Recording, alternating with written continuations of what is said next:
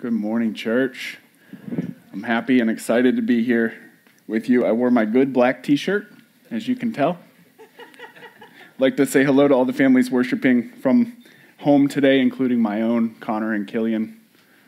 Be good, boys, uh, for your mom this morning. Um, we have been doing a sermon series all summer on prayer. We've been, we've been looking at what the Bible says about prayer, and we're going to continue that today. Before we do that, let us pray right now.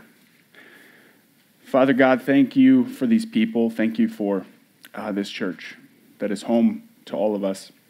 Lord, I ask that your word would be proclaimed in this place today. Lord, I ask that you would be glorified today by uh, the words that come out of my mouth. And Lord, I ask that you would not let me say anything false or misleading or untrue. Uh, Lord, I ask that you would bless and protect uh, the ears of those who hear today. Uh, and we are so grateful for your son Jesus and for the Bible. We ask all this in Jesus' name. Amen. So, we talked about uh, Psalms early on in the summer, talking about how Psalms, a lot of which uh, were written as prayers, are a great place to start. If you uh, don't know what to pray or how to pray, open a Psalm and pray through it that can be a real uh, blessing to somebody who's just not feeling motivated, but they know that they need to go before the Father. They know that they uh, lack communion with the Father, and they, they want to go be with Him, but you don't have the words. Open a psalm. We've heard sermon series about, or sermons about um, what to pray and when we should be praying and how to pray. Uh, today, we're going to take it in a little bit of a different direction, but still very much involved in the theme of prayer. We're going to look uh, in the book of Colossians and if you have a Bible, please open to the book of Colossians, chapter 1. We're going to take a look at uh, an example of Paul praying for the early church and asking God that this church think in a certain way, behave in a certain way, and pursue certain kingdom truths and certain um, elements of God's will. And I want us to look at that through the lens of our church and us as believers and consider that these are the types of things that we should be praying for our church and for us as individuals, for our families, for the church at large.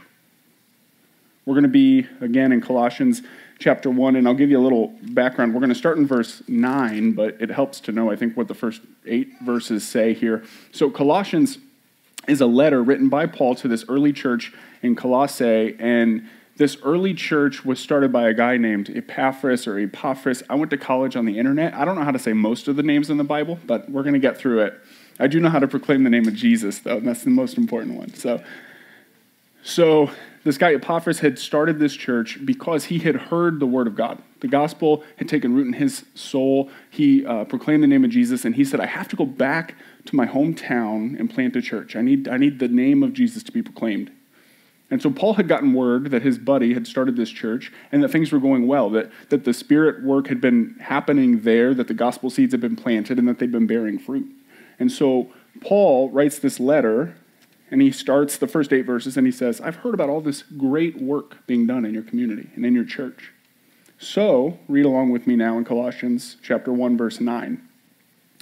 I've heard about all this great stuff, and so from the day that we've heard, we have not ceased to pray for you, asking that you may be filled with the knowledge of His will in all spiritual wisdom and understanding, so as to walk in a manner worthy of the Lord, fully pleasing to Him, bearing fruit in every good work, and increasing in the knowledge of God, being strengthened with all power according to His glorious might, for all endurance and patience with joy, giving thanks to the Father who has qualified you to share in the inheritance of the saints in the light.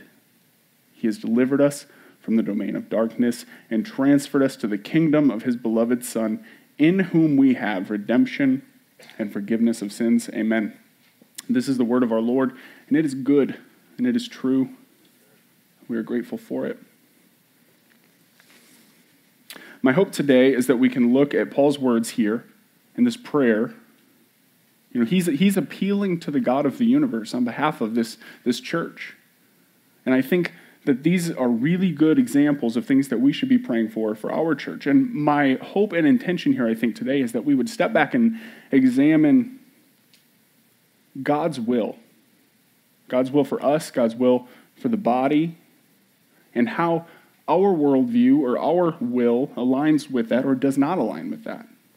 Are we focusing on what God wants us as a church to be focusing on, as, as Christians and individuals and families to be focusing on? Are we treating people, are we talking about people and about things in a way that reflects God's will for us as, as believers and as Christians? It's, it's, it seems simple on the face, but I, wanna, I want you to consider this. So, my sermon today is called Walk Worthy, Bear Fruit, Give Thanks. Walk worthy, bear fruit, give thanks. In verse 9, Paul says, My prayer is that you may be filled with the knowledge of his will and all spiritual wisdom and understanding. Verse 10, so as to walk in a manner worthy of the Lord, fully pleasing to him. Think about that. What does that mean? To walk in a manner worthy of the Lord. What? The Lord? Who is God? God is a perfect, righteous, holy being, creator and sustainer of the universe. I'm sorry, Paul. Walk in a manner worthy of that God? That, that implies failure to me right out of the shot. Yeah, okay. So just be good enough, walk in a way that reflects worth and value and, and acceptableness to this perfect and holy God. Well, thank God, Paul says in three or four verses later here, he says, we're, we're giving thanks to the Father who has qualified you. Not the Father whom you qualified yourself to be in the presence of. No, no, no. The Father who, who qualifies you. Thank God. Because if we had only our own knowledge and understanding, not spiritual wisdom and understanding, but our own knowledge and understanding, we, we would never be able to, to walk in a manner worthy of that God but we are still called to do it. We are still called to walk worthy. How? Well, Paul says that he's praying that this church, that these, that these Christians, be filled with the knowledge of God's will. As a sinner and, and as a person who is way too concerned with the world, I'm really, really aware of my will. I know what I want. I know um, a lot of us probably always have sort of this next goal in mind. When I get a little more money, I'm going to buy this thing, or we're going to go move into that neighborhood. We really know what we think is best for our lives. My challenge today is let's put that against the lens and the scope of what God says is best for our lives. I want us to be praying that we would be intimately aware of God's will for our lives because so often they do not align. Right? what does the Bible say about our own knowledge and understanding? Lean not on your own wisdom, right? We, we, we, will deceive ourselves and take ourselves down all sorts of sinful paths that do not align with the will of the Father. It's who we are. We're sinners. Fortunately, there is a God who has qualified us to be more than that. So, what does it look like to be filled with the knowledge of God's will. How do we do it? Paul goes on in this text that we just read here. He says, To walk in a manner fully pleasing of the Lord, bearing fruit in every good work, and increasing in the knowledge of God. Increase in the knowledge of God. Well, there are a couple of ways to do that. We can be in prayer, which we've talked an awful lot about here this summer, and I think that that's a great place to start. We need to be praying, like Paul, to be filled with the knowledge of God's will. Father God, I know that what my heart wants is almost always wrong. Let me have the desires of your will, right? That's something that we could and should all be praying for. So, being in prayer will help us be filled with the knowledge of God. Being in God's Word is critical. To seek to have the knowledge of God is to seek after the will of God because you, you get to know God's character in the Word. You know who He is and what He likes and what He hates, what He's told us to do and not to do, how He feels about His people. All of that, being filled with the knowledge of all of that, helps us be filled with the knowledge of His will. We begin to know this, this God in a more intimate way. His desires and expectations for us as His people. Increasing in the knowledge of God happens here in corporate worship and singing his praises as a body, which, by the way, Selah, great job this morning. You sound great. Being together in a life group, sharing and caring for each other, carrying the burdens of the body, that helps us grow in the knowledge of God, that helps us see God's will for God's people. We need to be pouring that in to our hearts and into our minds because we spend a whole lot of time pouring everything else into our hearts and our minds. The world is a tempting place, and our will and our desire is to charge after that stuff. Walk worthy. Seek to know the will of the Father and grow in the knowledge of God. Let's talk about bearing fruit for a minute. Verse 10 so, so as to walk in a manner worthy of the Lord, fully pleasing to him, bearing fruit in every good work. Bearing fruit in every good work. I'm going to give you the disclaimer real quick. First of all, an appeal. If you chase me out of here with pitchforks today, please use the tip sparingly. Um, I know that I am a sinner and I am not doing everything right. I know that I fall short, and I'm going to maybe touch on some things that are a little bit personal or challenging to hear about. And so I just want to start by saying I am chief hypocrite in the room today because they gave me the microphone, and I'm not getting all this stuff right. We're going to start there. So give me a little grace and hear my intention, and maybe hear my intention more than you hear my words at points because I will get some of this wrong.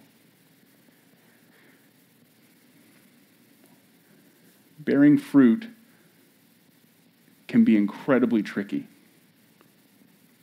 particularly if we're seeking after the will of God, because inside of us there is this battle raging on between our will and seeking after the will of God as sinners, as fallen and broken people. The Bible talks a lot about bearing fruit. Jesus talks about it in Matthew chapter 7. He says, We are like trees as believers. Good trees produce good fruit, dead trees produce bad fruit.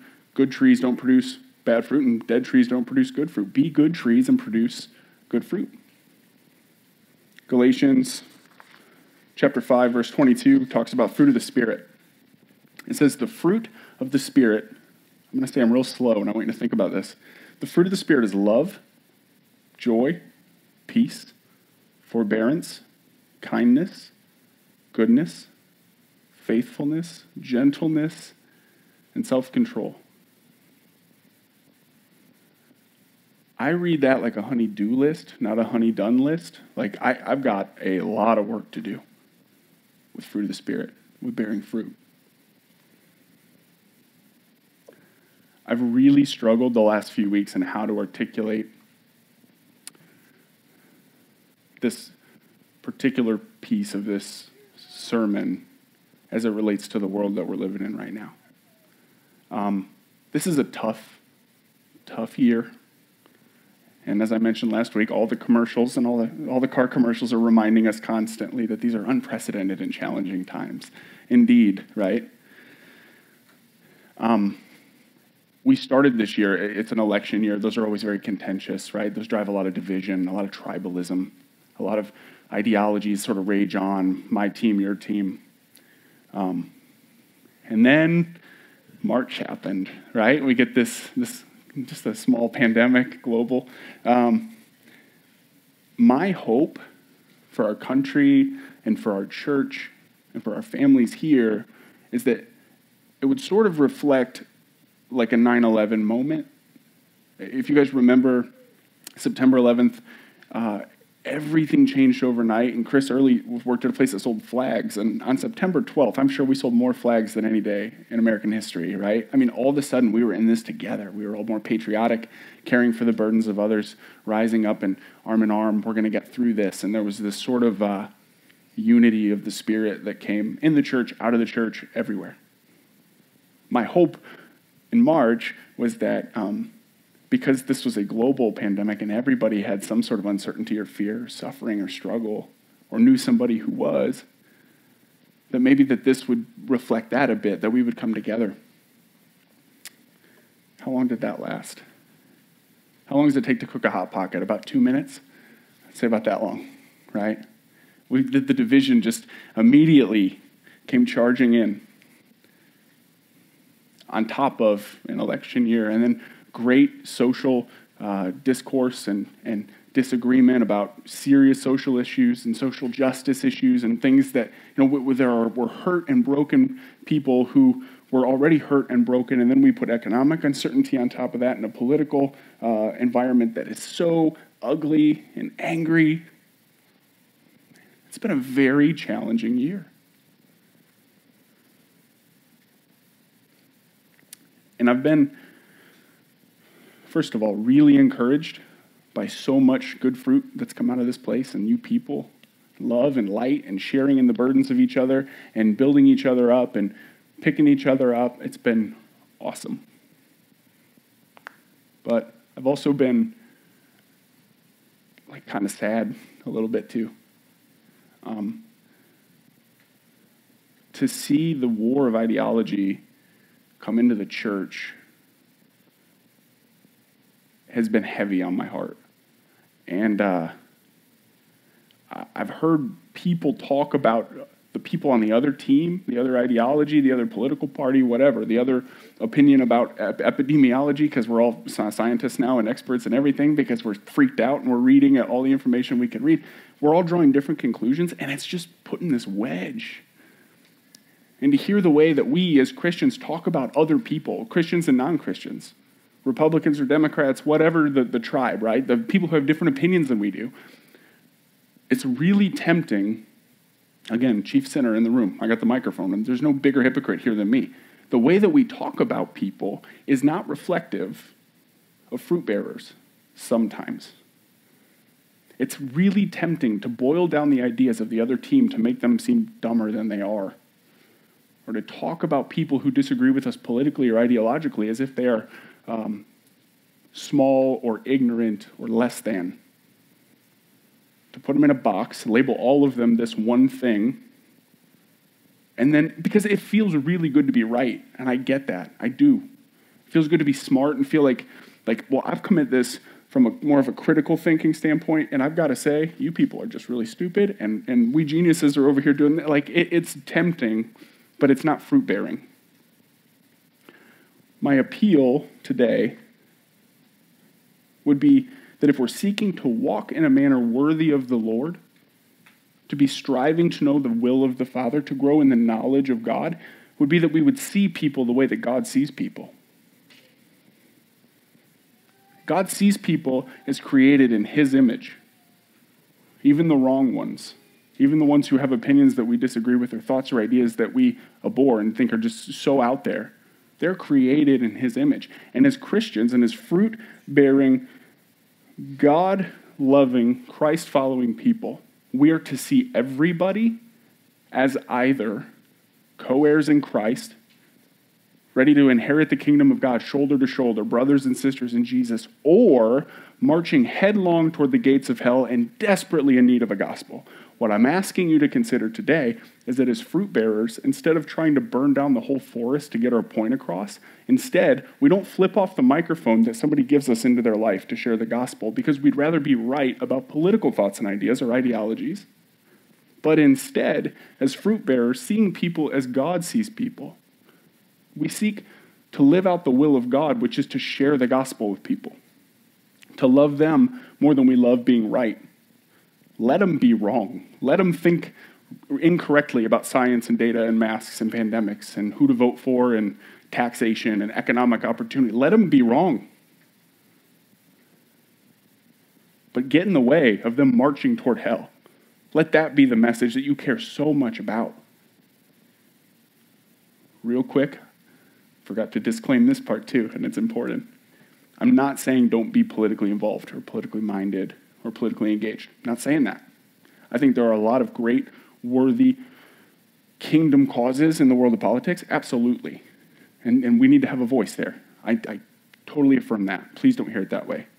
What I'm saying is, don't give up your ability to speak the gospel into somebody's life because you want to tell them how wrong they are on Facebook. See people as God sees people. We need to be aware of and mindful of our tongue. We need to, we need to guard it, the way that we speak as Christians, as fruit bearers, as, believers. James chapter 3, verses 5 through 7 says, So also the tongue is a small member, yet it boasts of great things. How great a forest is set ablaze in such a small fire. And the tongue is a fire, a world of unrighteousness. The tongue is set among our members, staining the whole body, setting on fire this entire course of life, and set on fire by hell. I'm saying that we need to make sure that we've put things in the right order, know, priority in our life, that we do it in a way that identifies the priority and order of God's will. And chief among them is worshiping and praising his name, loving his son, striving to look and act and be more like Jesus, who was patient and kind and gentle, and all of these things that I and all of us fall short of. And if we've put things in their right order, if we've put things in the right place, then we're striving to walk in a manner worthy of the Lord. From the beginning, the onset of the pandemic, there have been a lot of really challenging decisions that have had to be made here at Koinos by the leadership and uh, at all levels. I mean, life group leaders, kids zone leaders, certainly the elders, and um, I've loved to be able to serve side by side with all of you in that, and it's it's been real hard stuff. I mean, it's not like there's a book they give you when you open a church. It's like when a pandemic happens, set up an online stream. Like no, nobody know. Like we, we're scrambling. But I keep coming back to Titus three, the first two verses of Titus chapter 3, it says, Remind them to be submissive to rulers and authorities, to be obedient, to be ready for every good work, to speak evil of no one, to avoid quarreling, to be gentle, and to show perfect courtesy toward all people. Ugh, like that one. Perfect courtesy toward all people? That for me is incredibly convicting. And as a church, we've got something here, guys. God has given us something special. And I don't just mean the, the good feeling that we get when we come together and like we share live with each other. I'm talking about the eternal hope in Jesus that I think we take for granted as believers because we've known it and we have it. That is so meaningful to people who don't have it and don't know it. And they, they don't know what they're missing. And we have an opportunity in this world right now, in the hardest year in my lifetime, to be this light up on a hill, proclaiming the name of Jesus and hope that comes along with that. To be truth tellers about this God. And I want you to take a beat and just think about how has that changed your life? Could you imagine walking through the economic uncertainty that people are walking through right now, like people who have lost their jobs or may lose their jobs in the next few months or their businesses, could you imagine trying to walk through that without God? That's terrifying. I'm super freaked out, and I have them. Could you imagine? We should be that beacon of light because we've got what they need. Let's bear fruit in that way. Let's pray for our church that we would be those people with that message. For the people that we maybe disagree with, or people that don't know about Jesus, certainly and as a priority, but for all people, because that is the will of God. Final thought on fruit bearing, and then we'll move forward. Um, 1 Corinthians 8:13. I love this. It says, For though I am free from all, I have made myself a servant to all, that I might win more of them. The will of the Father is that we're, we're out there collecting his sheep. We're winning more of them. God wants us to be an instrument for his glory. He wants us to be the mouths that take the gospel. He wants us to be the, the hands and feet. What we are to be, we are to do his work to do and fulfill his will. Bear fruit. All right, let's talk about giving thanks. So, uh, Colossians 1, verse 10 so as to walk in a manner worthy of the Lord, fully pleasing to Him, bearing fruit in every good work, increasing in the knowledge of God. Verse 11, being strengthened with all power according to His glorious might, for all endurance and patience with joy. Verse 12, giving thanks to the Father who has qualified you to share in the inheritance of the saints in light. He has delivered us from the domain of darkness and transferred us to the kingdom of his beloved Son, in whom we have redemption and forgiveness of sins. For those of you who are, um, are really going through it right now, um,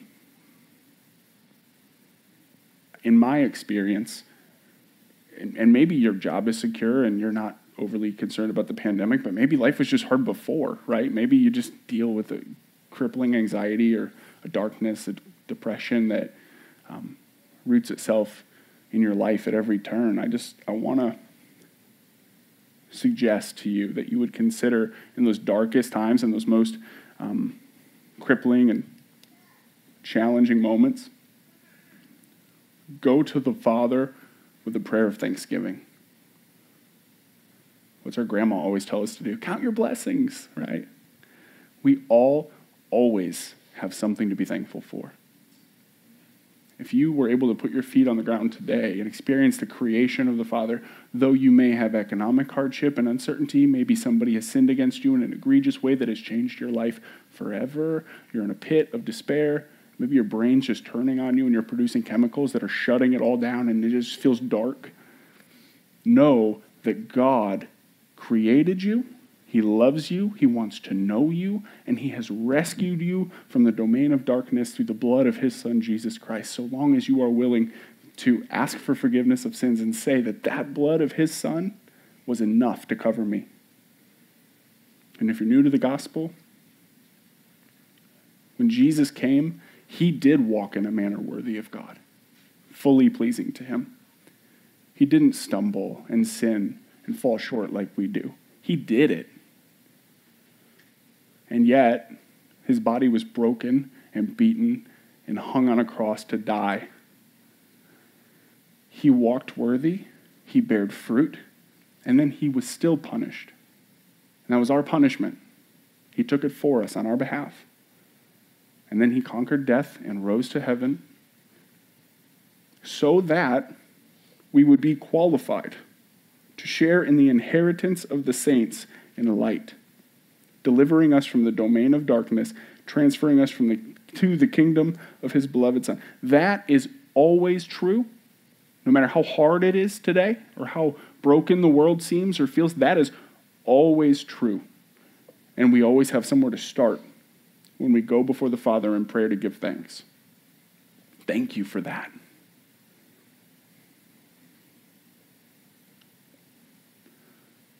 So, again, I think the prayer focus in this text today, and what I'm hopeful can be a prayer focus for our church, is that we would seek to be filled with the knowledge of His will, and that we would then live it out and walk that way. That's a real tall order, and I understand that. But I have some ideas. I'm a big believer in never tell somebody what their problem is if you don't have a solution. And you're still probably being rude, even if you do it that way. But in Ohio, adults in our fine state of Ohio, we spend, of all the, all the states in the union, we, we rank number four in America for most time spent on our cell phones. Adults in Ohio. Woo! Um, thank God Arizona beat us, and they're, I think, number one. They're two more ahead of us. In Ohio, adults spend 231 minutes a day on our phones. That's nearly four hours a day. 27 hours a week. That's a job, guys. 27 hours a week, 58 days in a year gone to our phones. My, my challenge to you this week is that we reorient our lives to pursue after the will of the Father, to grow in the knowledge of God so that we can bear fruit. So, here's a thought. Here's some homework. Go to the settings of your phone. For those of you who are already rumbling, I apologize. Go to the settings of your phone, turn on the screen time app. Did you guys hear that? All the stomachs just hit the floor. Go turn on the screen time app, and what it's going to do is it's going to track how much time you're spending every day on that phone and what you're doing on it. And I know what you're thinking, but Brian, three and a half hours a day, I'm on the Bible app and I'm reading the Gospel Coalition and desiringgod.org. I promise. No, I, I'm sure you are. I'm sure you are. But let's find out together. You know what I mean? Turn on that screen time app. Every day you're going to get a report that says this is how much time you spent on it today and this is what you were doing. And you're probably going to be amazed if you haven't done this before. It's like super convicting and like embarrassing. Like you're just like, really? Wow. All those angry birds and in and I'm old. Is that an old reference now? Gosh, all that Fortnite or whatever. I don't have the internet where I live. We're, we're basically Amish. Uh, we do have cell phones, though, and we do use them way too much. Um, use the screen time app, and then here's a practical thought. Let us strive to walk worthy. Let us spend, strive to redeem some of our time that is wasted putting things into our hearts and our minds that maybe do not align with the will of God. Let us try to redeem more of our time doing things that do and that help us grow in the knowledge of God. So, as a goal for the week, whatever your phone tells you you did on Monday, let's try to do better on Tuesday, less time. Less time on Tuesday and Wednesday and Thursday and throughout the week, shaving off the amount of time that we're spending looking at that and spend more time in redeeming God honoring God glorifying, God's will seeking activities like being in prayer and being in the Word. And yeah, if you're using the Bible app, you can re- you can subtract that time because it'll tell you how much time you're in that app. But let's redeem some of this time to set our sights as a church and as Christians, and as families, on the, on the will of God. Be in prayer, be in the Word.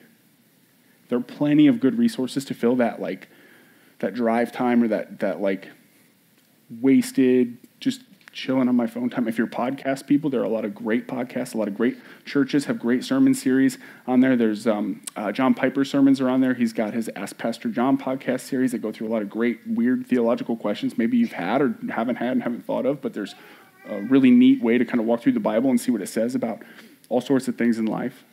Um, there's a podcast called um, the Bible Project that walks through all sorts of text in the Old Testament and the New Testament, kind of breaks it down, gives you some historical context, and all of that is edifying, will build us up, and will help us increase in the knowledge of God. More than all of that, though, read your Bible. We all always have something to give thanks for. Let us do that with our time as well.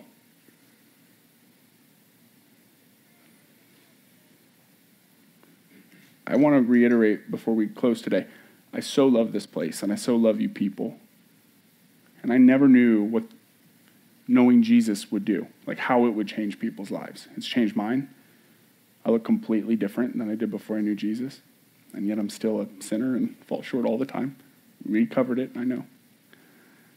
And it's been a real eye opening and humbling thing to kind of see how all of us have risen up and, and cared for each other and and sacrificed and done things that we didn't want to do, you know, sitting further apart and wearing masks and doing all this stuff.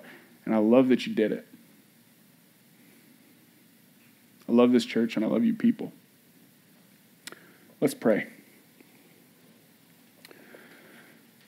Father God, we are so grateful. So grateful that you have qualified us. That you have qualified us to experience your eternal glory.